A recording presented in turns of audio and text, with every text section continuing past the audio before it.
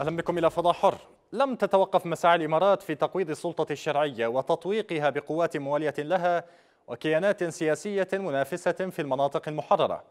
وصلت هذه المرة إلى الجزيرة البعيدة التي لا تحتاج إلى وجود عسكري أو أمني غير ذلك الموجود فيها. مئة مجند هم دفعة أولى من ثلاثمائة مجند دربتهم الإمارات في عدن وسترسلهم إلى سقطرى بغرض يبدو أنه إنشاء حزام أمني موال لها في مواجهة الوحدات العسكرية والأمنية التابعة للحكومة في الأرخبيل. هذه الخطوة قد تشكل خطرا ليس على المستوى السياسي فقط وما يتعلق بانتقاص حق السلطة الشرعية ومنافستها بل على المستوى الاجتماعي أيضا. إذ أن الجزيرة التي لم تشهد أي انقسامات أو صراع خلال تاريخها قد تجرها كل هذه التحركات نحو الانفجار بين مكوناتها خصوصا في ظل وجود معارضة لما تقوم به الإمارات والأطراف الموالية لها. ما الداعي لإرسال قوات عسكرية لجزيرة لا تشهد أي حرب أو تهديد أمني؟ وما الذي تريده الإمارات وحلفاؤها هناك؟ وما هي تبعة الاستمرار في تقويض السلطة الشرعية؟ للنقاش سيكون معنا من عدن كل من المتحدث باسم المجلس الانتقالي الجنوبي السيد نزار هيثم والصحفي والناشط السياسي السيد فهمي السقاف. أرحب بكما ضيفي الكريمين وأطرح عليكم السؤال المشترك وأبدأ معك سيد نزار هيثم. إذا عادت الإمارات مجددا إلى سقطرى عبر قوات تابعة للمجلس الانتقالي. هذه القوات لا تخضع لسلطة الحكومة الشرعية. ما غاية هذه العودة؟ اولا مساء الخير ورمضان كريم عليكم وعلى أمة محمد أجمعين. ومرحبا بكم من عدن عاصمة الأمن والسلام دائما. طبعا الادعاءات المتكررة حول آه، وجود قوات آه، جنوبية كما تسمونها انفصالية هي ادعاءات بكل تأكيد زائفة. من يتواجد حاليا هم أبناء الجنوب وبكل تأكيد لهم الحق الأكمل أن يتواجدوا في كل مكان. نعم تفضل أستاذ نزار. الصوت. أنا أسمعك بشكل واضح.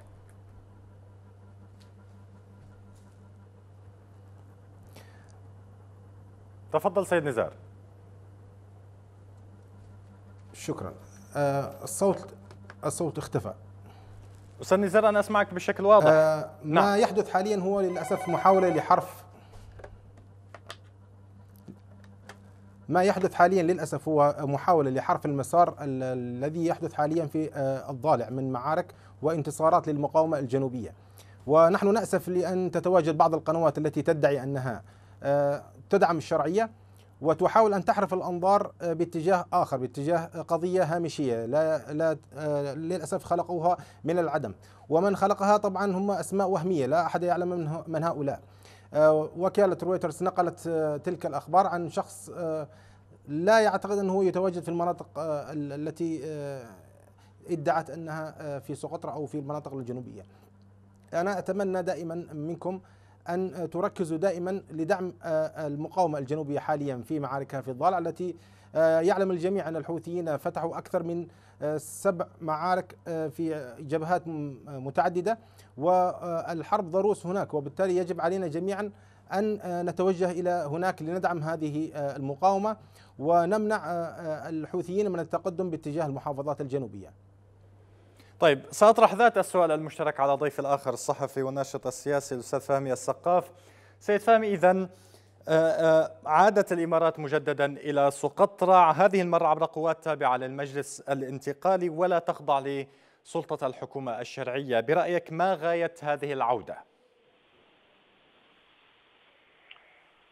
غاية هذه العودة بالتأكيد لو طريقوا على مشاهديك الكرام غاية هذه العودة بالتأكيد هي أمعان في تمزيق الجغرافيا اليمن عموما.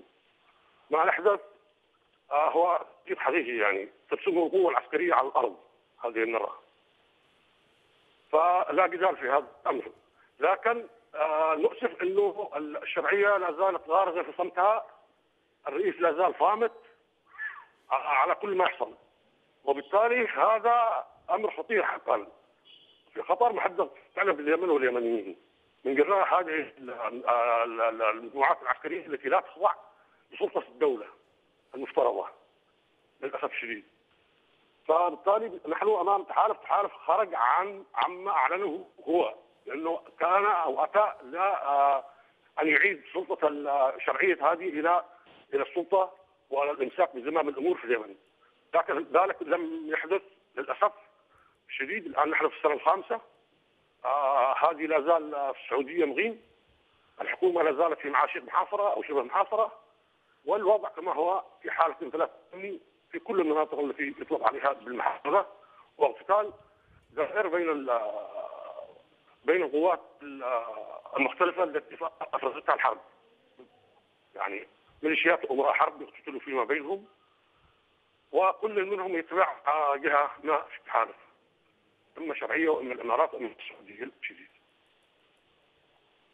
يعني سيد سقاف آه، كان قبل قليل يتحدث معنا السيد نزار هيثم على أنه هذه الأنباء حول وجود جنود ومجندين في سقطرى والمساعي الإماراتية هناك هي كاذبة، هناك إشاعات يختلقها بعض الناس، يجب على الكل الآن عدم الالتفات لهذه الأشياء كلها وإنما التوجه والتركيز على معركة وما يحدث في الضالع، هناك الحوثيون يقومون ب فتح جبهات كثيرة لمحاولة آه، تضييق الحصار على المناطق التي آه، آه، يعني تم تحريرها بالفعل. هل ترى أنت من خلال متابعتك أن هناك فعلا من يحاول إبعاد النظر عن هذه المعركة الأهم والانشغال بأمر تافه مثل ما يحدث في سقطرى كما يفهم من كلام السيد نزار هيثم؟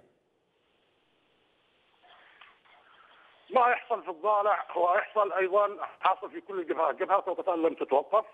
اللهم إن ترتفع آه، وتيره القتال وحده القتال بين حين واخر لا ما قامت بالإمارات يعني حول القوات هذه أدخلتها إلى سقطرى فهذا مسألة حقيقية ولا يمكن لأحد أن ينكرها. نعم هي مرتبطه بالصوت والصورة يعني وجودهم ونزولهم من الإمارات، القوات التي انطلقت من عدن أو أخذوها من عدن إلى الإمارات عادوها والقوات اللي دربوها في الإمارات عادت إلى داخل سقطرى للأسف الشديد. فلا يمكن آه، يعني آه، آه، الشمس بموخل صعبة جدا. بالتاكيد فهذه قوة على الأرض تتحرك. للأسف الشديد. يعني لكن الهدف هنا تقريبا الانتقال يشتي يلفت انتباه الناس أو يشد انتباه الناس بعيدا عما يحصل في سقطرى باتجاه الضالع. وهذا أكيد صعب. أيوه. الناس تتابع ما يحصل في كل مكان في اليمن في كل شبر في, في أرض اليمن. الناس لم يعودوا بهذا الغباء. في ظل وسائل الإعلام ووسائط التواصل الاجتماعي أصبح العالم مفتوح. يعني يصعب أن تخفي فيه شيء أو تخبي شيء.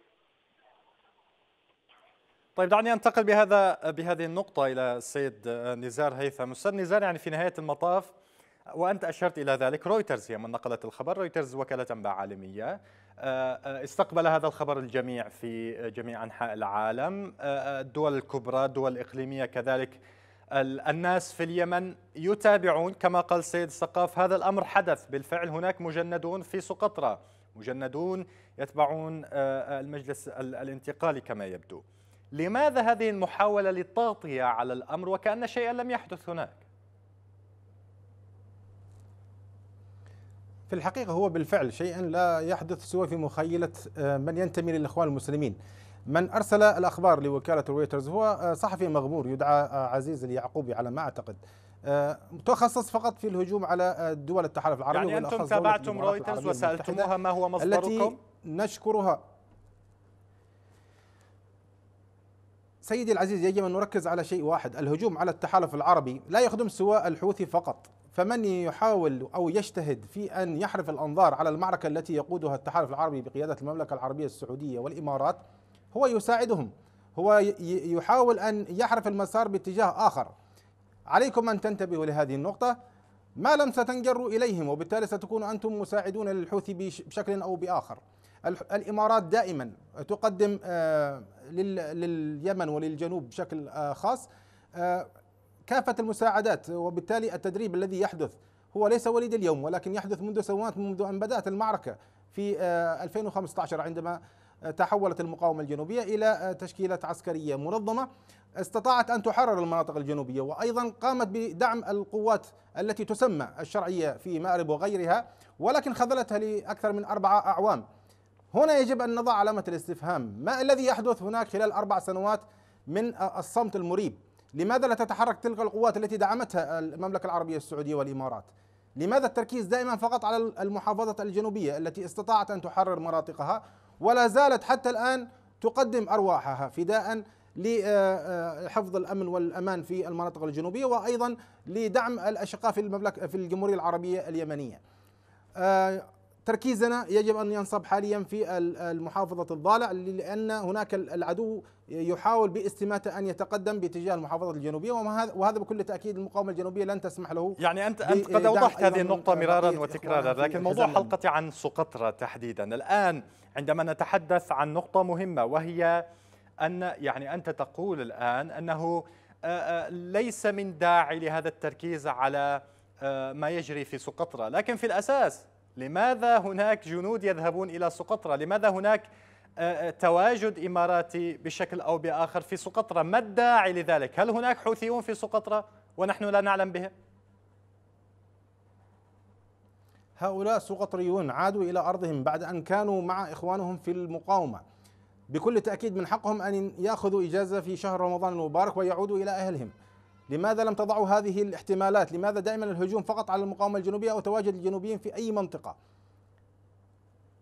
أليسوا هؤلاء من يعني من آه، آه، جندوا في شهر مارس الماضي؟ كانت هناك آه، عمليات تجنيد لهم في عدن وحضرموت وكانت هناك صور لذلك؟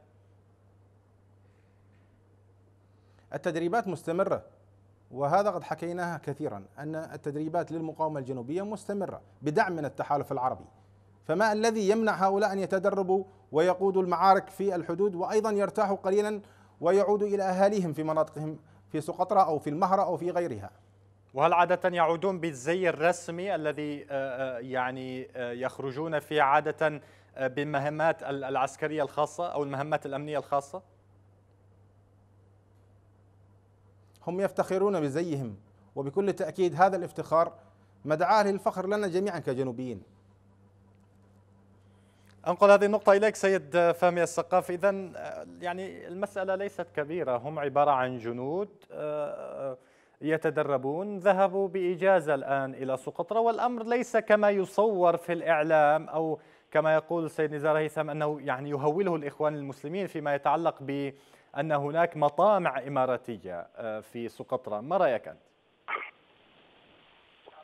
لا مسألة الإخوان المسلمين هذه جماعة. تطغى عليها كل تطغى عليها كل الأشياء.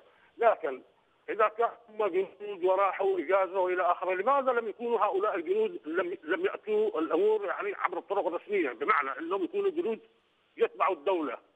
اجهزه الدولة، اجهزه الدولة معروفة شرطة أمن جيش إلى اخره مسمايه ومعروفة وفقا للنظام والقانون والدستور السائد في البلد.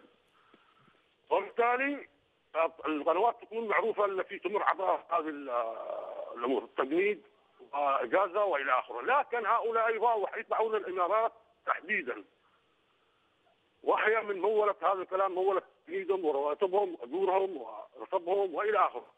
فبالتالي هم يتبعونها وينفذوا ما تريده الإمارات. مشروع الإمارات تنفذه للأسف الشديد العيادة اليمنيه جلدت لهذا العرب. وبالتالي مسألة الإنكار لا تفيد تبقى الحقيقة هي الحقيقة يعني إنكار الحقيقة لن لن لن يلغيها من الواقع بالعكس هي باقيه سقطرى لم تشهد أي اختلال أمني طوال تاريخها لم لم يصلها الحوثيين وبالتالي ما الداعي لكل هذه القوات وتدقيق سقطرى بالقوات هذه لمن؟ هذا السؤال لمن؟ إلا أنهم مستعدين لمواجهة غادمه مع الشرعية يعني مستعدين لمواجهة قادمه مع الدولة حينما تبسط نفوذها وسيطرتها على كل شبر في أرض اليمن. وهم طبعا لم يمكنوا الدولة من هذا الكلام حتى اللحظة الآن السنة الخامسة الدولة أو الشرعية لم يمكنوها تماما من إدارة المناطق المحررة للأسف الشديد. يعني رئيس الوزراء ورئيس الحكومة يقدر ورئيس الدولة يقدر يعني آه، يصدر امرا أو قرار إلا بموافقة وراء التحالف وإلا لن ينفذ أمره وقراره فنحن امام مشكلة حقيقية يعني. والمشكلة أيضا جزء ما يكون في الشرعية نفسها. لماذا الرئيس صامت على كل ما يحدث وهو خطير جد يهدد يهدد وحدة أراضي واستقرار اليمن؟ أيوه. لماذا الحكومة صامتة أيضا؟ هنا المشكلة. يفترض بالحكومة والشرعيه أن تصحح العلاقة مع التحالف وتكون واضحة وضوح الشمس في كل النهار. أما الصمت فلن تبدي اللهم إنه بيراكم المشاكل إلى أن تصل إلى نقطه إلى لحظة الانفجار. والانفجار ساعتها لن يوفر أحد. طيب الآن أنا ليس لدي ناطق باسم الحكومة حتى نتحدث معه بهذه النقاط التي تفضلت بها. يعني من لدينا هنا هو المتحدث باسم المجلس الانتقالي الجنوبي الذي يعني تفضل بقبول الدعوة للظهور في هذا البرنامج. نتساءل الآن أن تتحدث على أن التحالف يعرقل آه، سير عمل الحكومة في هذه المناطق لكن السيد نزار هيثم قبل قليل يقول لماذا كل هذا التركيز على أشياء هامشية؟ في نهاية المطاف المعركة ليست في آه، آه، سقطرى أو في المحافظات الجنوبية. المعركة في أماكن أخرى.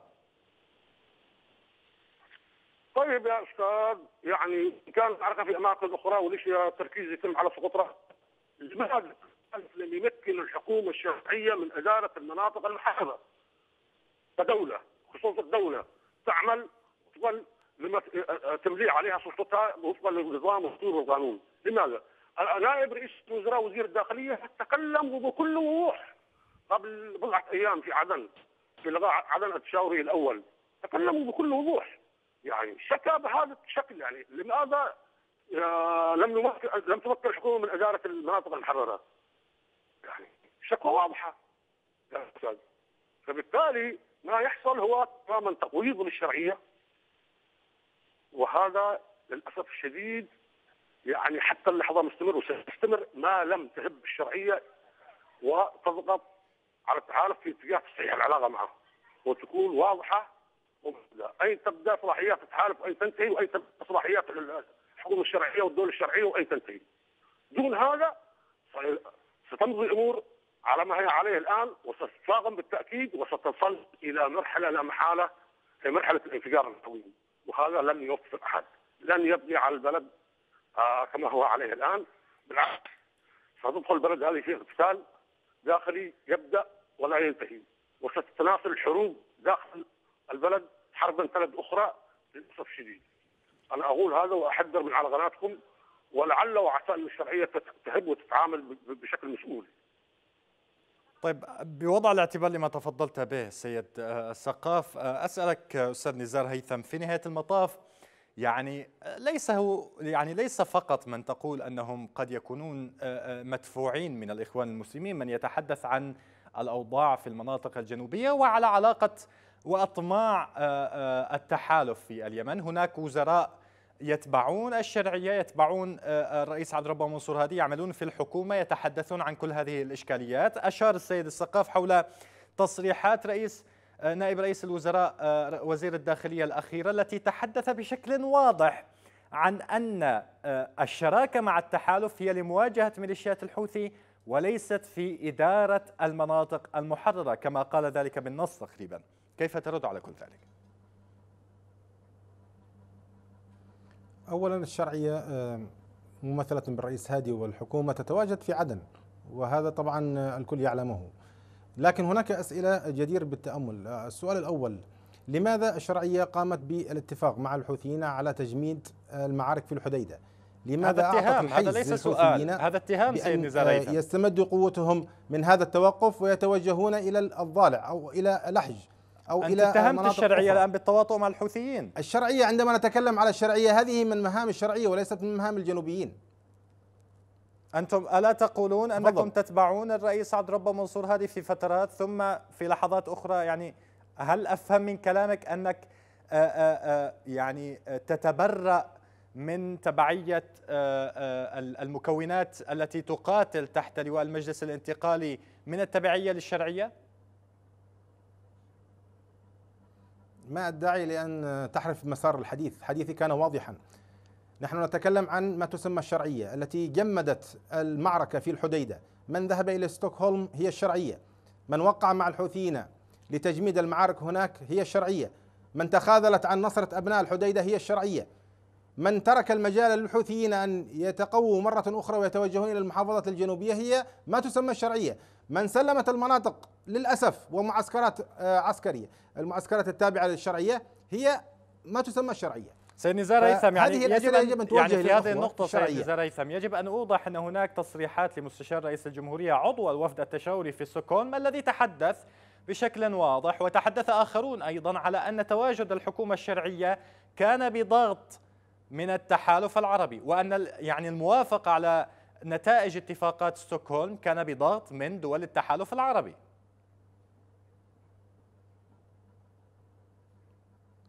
إذا ما دور الشرعية وقواتها المتواجدة حاليا والراكنة لمدة أربع أعوام في مأرب وفي غيرها؟ ما ما دورها الحقيقي هنا؟ أليس من الأجدر أن تتحول لمواجهة الحوثي في مناطق أخرى طالما جمدت في الحديدة؟ لماذا لم تتحرك تلك القوات؟ أليس هناك بشكل واضح تصريحات ل آه، يعني الآن هناك تصريحات وأنا أسألك هنا سيد نزار هيثم يعني آه، آه، لا تحاول أنا لا أجيب على الأسئلة أنا أطرح عليك السؤال الآن فيما يتعلق بتصريحات نائب رئيس الوزراء وزير الداخلية الذي قال أن التحالف هو يحاول إدارة المناطق المحررة بينما المفترض أن شراكة مع التحالف تكون فقط فيما يتعلق بمواجهة ميليشيات الحوثي. لماذا يتدخل التحالف في إدارة المناطق المحررة؟ هذا ما يعرقل الشرعية كما يقولون.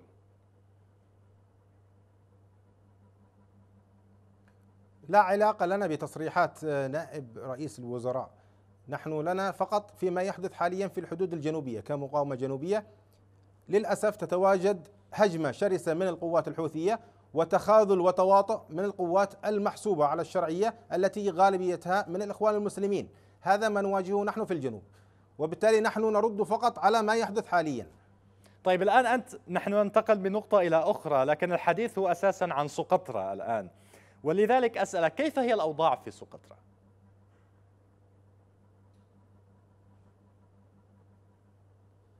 عفوا الصوت.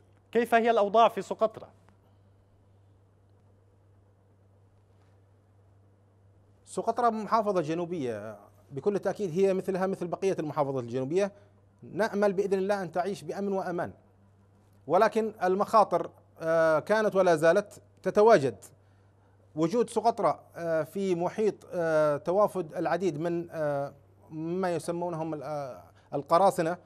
وأيضا تواجد عناصر للإخوان المسلمين ممثلين هناك في بعض الإدارات. آه، يعرض المصالح للمواطنين للخطر. إذا كل ذلك ما الذي ستفعلونه؟ بكل تأكيد أبناء الجنوب لن يصمتوا عن ما يحدث في أي منطقة جنوبية. ومثل ما عملوا في عدن وفي حضرموت ودافعوا عنها بكل تأكيد سيدافعوا عن كل شبر من أراضي الجنوب. يعني ستشكل أحزمة أمنية هناك؟ هذا حق لنا في الجنوب. من حقنا أن نؤمن مناطقنا من حقنا أن ندافع عن أرضنا. لن يدافع عنا من يتواجد وهو آه، متبوع أو ينقاد من عناصر شمالية أو عناصر إخوانية أو حوثية.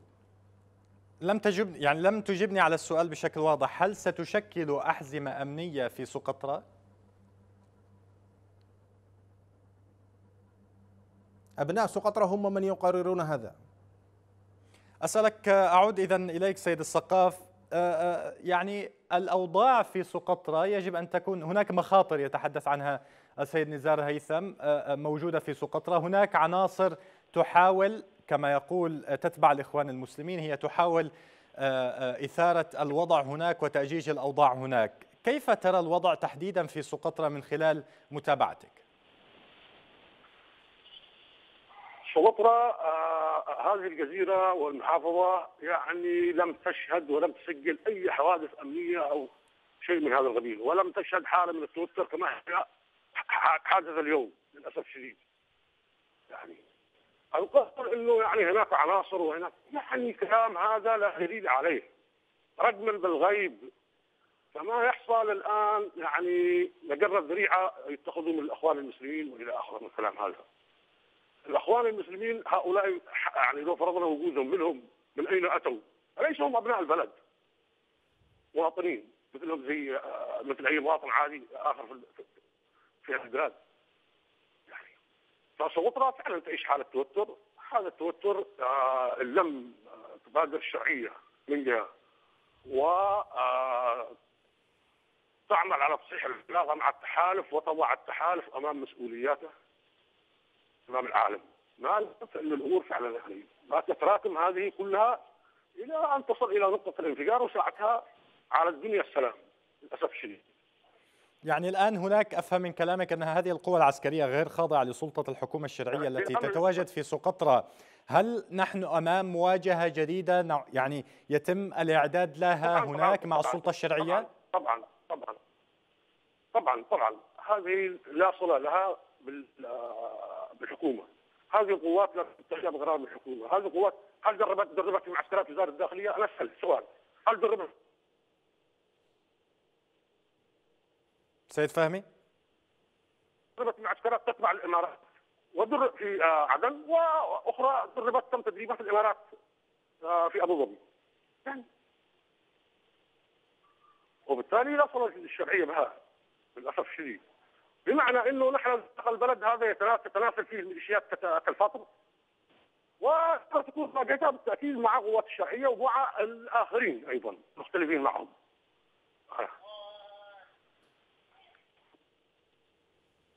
طيب في هذه النقطة اليمن واليمنيين. نعم. ودماء ودماء سيد سقاف. طيب قبل قبل العودة إليك سيد سقاف أعود إلى سيد نزار هيثم فيما يتعلق يعني إذا كانت الجزيرة تعاني سيد هيثم من تهديدات آه، آه، أمنية تعاني أيضا من آه، الكثير من الإشكالات كما تقولون أليس من الأولى دعم القوات الموجودة فيها عبر أطر السلطة الشرعية الموجودة بشكل طبيعي وعدم القفز والإتيان بشيء جديد ابتداع أشياء جديدة.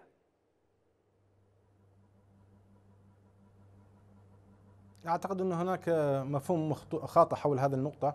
الحزام الأمني الكل يعلم أنه آه، بقرار من رئيس الجمهورية آه، قام بتشكيل عدة ألوية. وهذا قرارات جمهورية. أعتقد أن من حق آه، الجنوبيين أن يكونوا في إطار القوات الرسمية. هذه القوات هي من دافعت عن الجنوب في مرحلة ماضية وأعتقد آه، اتهامات باطلة من بعض الأطراف التي تحاول أن تشيطن تلك القوى آه، الجنوبية. آه، وجود أبناء سقطرى في سقطرى هذا أمر طبيعي لا يستدعي خلق هذه القضايا وأتمنى التحري دائما من الأخبار التي ترد إليكم. هناك للأسف محاولة لشيطنة القوى الجنوبية وهذا أمر متعارف عليه من قبل آه، طرفين الحوثيين والإخوان. هناك أيضا محاولة متجددة دائما لمحاولة خلخلة صفوف التحالف العربي ومحاولة أيضا آه، اتهامات الامارات ومحاولة أيضا آه، ضرب التحالف من الداخل. هذه المحاولات لا يقودها سوى من يحاول أن يكون في صف الحوثي. هذه هي الحقيقة. يجب أن نركز عليها دائما. طيب ستكون بإذن الله آمنة بيد أبنائها عدن مثل ما هي عدن ومثل ما هي حضرموت ولحج وابين وشبوة والمهرة. طيب الآن هناك آه، تصريحات كانت لمحافظ سقطرى رمزي محروس هو من أبناء المدينة يعني من أبناء الأخ خبيل في نهاية المطاف أبناء الجزيرة. يقول أنه لن يسمح بتواجد أي قوات خارج آه، آه، إطار المؤسسات الشرعية الرسمية. ما تعليقك على هذا التصريح سيد هيثم؟ هذه تصريحاته إذا هو يظن أن هناك من يعمل خارج إطار السلطات فليتصرف لديه الحق أن يتصرف. يعني الآن الحزام الأمني يعني يتبع الأطر الرسمية بداخل وزارة الداخلية ووزارة الدفاع اليمنية يستلم مرتباته عبر هذه الوزارتين ولا يستلمها من الخارج. أفهم من كلامك. لا علم لي حول هذه النقطة ولكن أنا أعلم أنهم يقاتلون جنبا إلى جنب مع الشرفاء في الحدود. وبالتالي من يقاتل مع إخواته فهو منهم أكيد.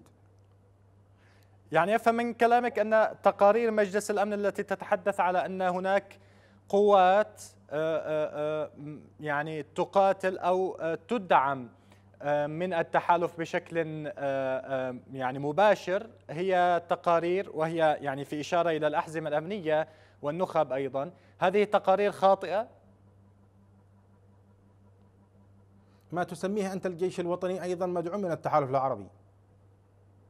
يعني أنت لم تجبني على سؤالي سيد نزار هيثم. هل هذه التقارير خاطئة؟ تقارير مجلس هذا هو الأمن الجواب. التي إذا أنت تعتبر أن الجيش الوطني مدعومة من التحالف بشكل مباشر تستلم آه، مخصصاتها بشكل مباشر من التحالف ولا يمر يعني أي عملية تسليم لهذه الرواتب عبر المؤسسات الشرعية التي تتبع الحكومة الشرعية وزارة الدفاع وزارة الداخلية إلى آخره. إذا لديك معلومات حول هذه النقطة بإمكانك أن تفيد الجميع. أنا ليست لدي هذه المعلومات ولكن أنا أقول لك أن الجيش الوطني مدعوم أيضا من التحالف العربي مثل ما هي المقاومة الجنوبية وبقية القوى الجنوبية كالحزام الأمني مدعوم أيضا والنخبة الحضرمية والشبوانية أيضا مدعوم من التحالف العربي. وهذا أمر يشكرون عليه. طيب أعود إليك سيد السقاف ويعني على السادة المشاهدين بطبيعة الحال متابعة آه، ما ينشره مجلس الأمن من تقارير حول الدعم المباشر الغير آه، آه، يعني مرتبط بالسيادة الوطنية للجمهورية اليمنية الذي يتلقاه القوات الذي تتلقاه القوات العاملة بالوكالة عن التحالف بدوله. قبل ذلك أعود إليك سيد السقاف. اذا الآن تبدو الخطوة منطقية يعني في نهاية المطاف نشر جنود في آه، سقطرى يبدو أن الأمر منطقي طالما أن المجلس الانتقالي يعد نفسه الوريث للسلطة الشرعية في المحافظات آه، الجنوبية وكذلك في مسألة تمثيل الجنوبيين. وبالتالي كثيرون يقولون من حقه أن تكون قواته متواجدة في كل المناطق والمحافظات التي يتواجد هو بها. لماذا الرفض لهذه الخطوة؟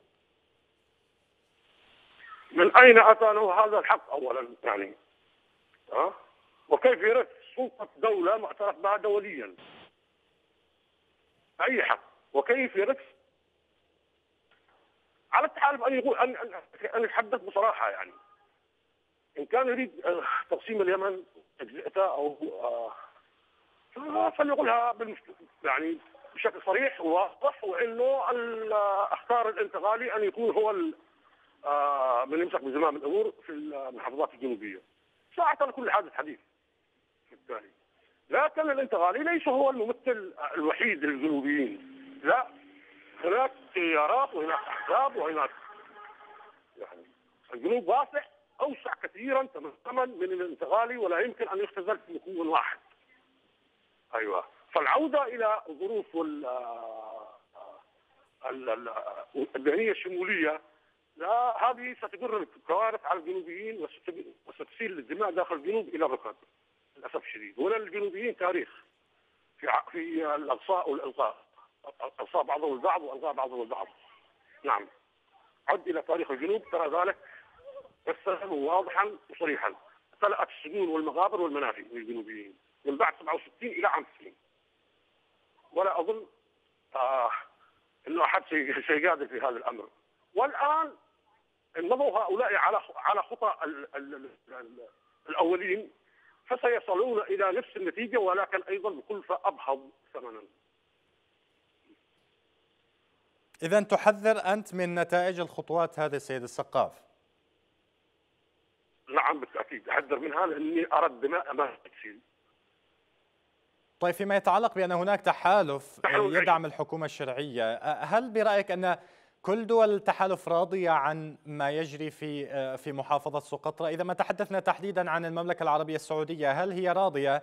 وهي التي في نهاية المطاف أحلت القوات السعودية بدلا عن الإماراتية في يعني آه، الأحداث السابقة في العام الماضي عندما كانت هناك إنزالات لقوات إماراتية ورفعت المشكلة إلى الأمم المتحدة ومجلس الأمن عبر الرسائل من الشرعية. هل هناك برأيك آه، يعني اتفاق سعودي إماراتي أم أن هناك آه، رفض قد يحدث في قادم الأيام لهذه الخطوات من قبل السعودية؟ هو إما اتفاق سعودي إماراتي وتبادل أدوار أو أنه ستصل الأمور بين السعودية والإمارات كحلفاء في إلى نقطة ما يحصل فيها التحالف هذا ولكن هذا كله سيتم على حساب اليمن واليمنيين في النهاية. بصدفة حسابات الطرفين السعودية والإمارات يتقاتلون باليمنيين. صحيح. وفي النهاية اللي بيدفع الثمن ويخسر هم اليمنيين.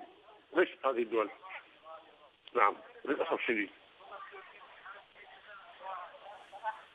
أعود إليك سيد نزار هيثم. نعم. أعود إليك سيد نزار هيثم إذا انتهت هناك كانت آه، السنة الماضية كانت هناك أزمة رفعت إلى مجلس الأمن عبر الرسائل من قبل يعني سفير اليمن في الأمم المتحدة وكان هناك شكوى حكومية حول مسألة إنزال قوات إماراتية في سقطرى هذه الأزمة انتهت المرة الماضية بشكل لم يكن في صالح الإمارات. الآن يبدو أن هناك عودة عبر ما يمكن يعني أن ترفض هذه التسمية لكن عودة عبر المجلس الانتقالي. هل هذا يعني أنكم مستعدون للدخول في مواجهة القوات الحكومية المتواجدة في سقطرى وكذلك ربما القوات السعودية المتواجدة فيها أيضاً.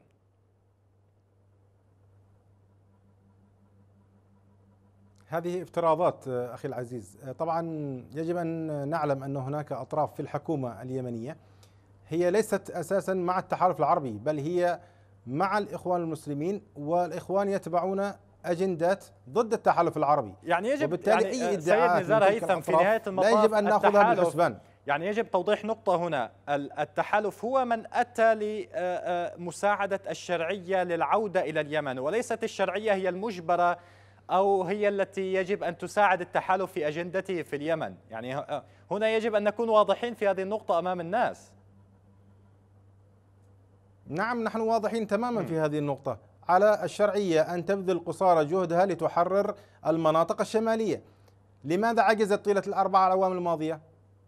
التحالف قدم كل ما لديه لهذه الشرعية وكان يجب عليها أن تتقدم باتجاه صنعاء. يعني وهل يكون هل تكون مساعدة سيد نزار هيثم هل تكون مساعدة التحالف لهذه الشرعية عبر إرسال قوات في مناطق هي مؤمنة ليست هناك إشكالات فيها بدلا من تعزيز قوات الأمن هناك بشكل رسمي. هذا مناطا به على الشرعية أن تعزز دورها هناك. من يتواجد في أي منطقة جنوبية هم جنوبيون من حقهم أن يكونوا عامل مساعد للأمن والاستقرار في المنطقة. المخاطر عديدة. ليست فقط كما يصوره البعض أن هناك مناطق آمنة 100% صواريخ الحوثي تصل إلى بلدان قريبة منا فما المانع أن تصل أيضا إلى مناطقنا؟ طيب في هذا السياق هل هناك استعداد للمجلس الانتقالي أن يدخل في مواجهة للقوات الحكومية إذا أرادت الإمارات ذلك في سقطرى؟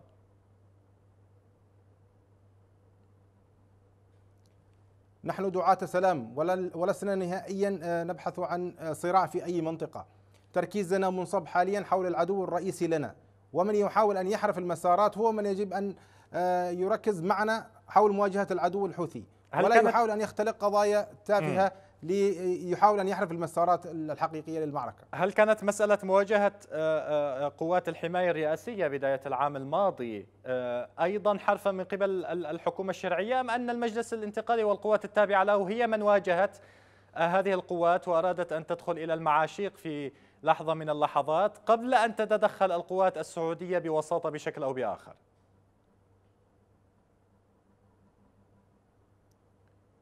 آنذاك كانت محاولة لقمع المتظاهرين الجنوبيين الذين خرجوا ضد الحكومة.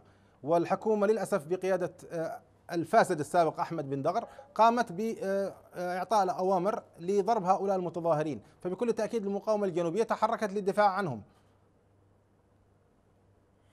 طيب في سياق الحديث عن يعني أن المجلس الانتقالي كما يبدو قد ربط مستقبله وربط تحركاته بالمشروع الإماراتي في اليمن. كما يقول كثيرون لا أقول أنا هذا الكلام لكن أيضا هذا المشروع بات محل رفض حتى من بين كثير من المؤيدين الذين بدأوا مؤيدين للمجلس الانتقالي لكنهم الآن وأيضا من قبل قوات كانت تعرف أو تنتمي لما يعرف بالحراك الجنوبي.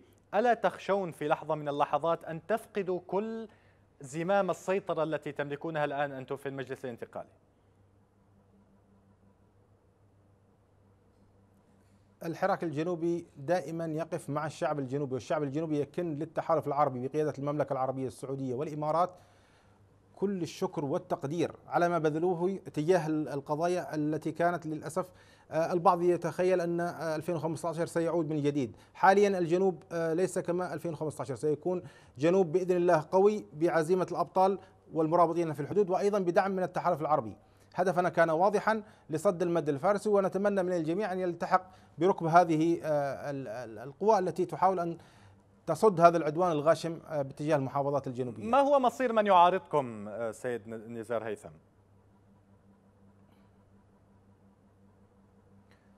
نحن لا نعارض أحد ولهذا نتوقع من سيعارضنا هو سيعارض المشروع الوطني فقط وبالتالي المرجعية في هذه الأمر هو للشارع الجنوبي. طيب أعود إليك سيد سقاف يعني مؤخرا يعني يكون هناك حديث على أن الخطوة التي حدثت مؤخرا فيما يتعلق بتواجد جنود في سقطرى 100 جندي من 300 جندي على الأقل. لا تقتصر هذه خطورة هذه الخطوة على المدلولات السياسية لكن يبدو أن هناك مخاطر تقود إلى صراع مسلح داخل الجزيرة وأنت حذرت من ذلك قبل قليل. هذه الجزيرة التي لم تعرف الصراعات هل يبدو أن هذا هو المشروع الذي يراد لهذه المنطقة لهذه لليمن بشكل عام أن تمضي في في سياق فرض أجندة خارجية؟ للأسف الشديد هذا هو ما ما يراد لليمن أن تمضي فيه، يراد لليمن أن تمضي في صراعات تبدأ ولا تنتهي. كي ينشغل اليمنيون فيما بينهم البين وينشغلوا في سفك دماء البعض وينشغلوا في صراعاتهم صراعات بعضهم ضد البعض الآخر وتنفذ الدول كالإمارات وغيرها مشاريعها في اليمن دون ان يلتفت اليها اليمنيين لأنهم غارقين في صراعاتهم وفي خلافاتهم وإلى آخره، هذا هو ما تريد الإمارات بالضبط. نعم. طيب في في سياق ذلك هل ترى يعني هناك مؤخرا بات هناك حديث عن خلافات في الأجندة بين السعودية والإمارات في اليمن، هذه الخلافات كما يعني يقول كثيرون أنها تكتسب أدلة جديدة على حدوثها بالفعل، هل بتقديرك سنصل إلى مرحلة صدام مباشر بين القوات التي تتبع كل منهما؟ هلا استبعد ذلك لكن آه الحدث سيحدث ذلك أيضا للأسف الشديد باليمنيين أنفسهم. السعودية جندت يمنيين والإمارات تجند يمنيين وهؤلاء بيتصلوا بالنسبة عن عن الطرفين عن الحليفين المختلفين. هنا هنا تكون المشكلة.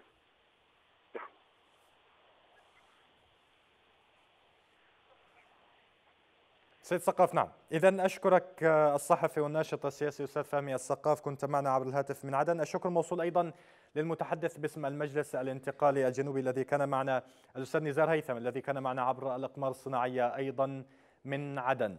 الشكر موصول لكم مشاهدينا الكرام على حسن المتابعة والإنصات في نهاية هذه الحلقة. تقبلوا تحياتي وتحيات طاقمي العمل الفني والتحريري. إلى اللقاء.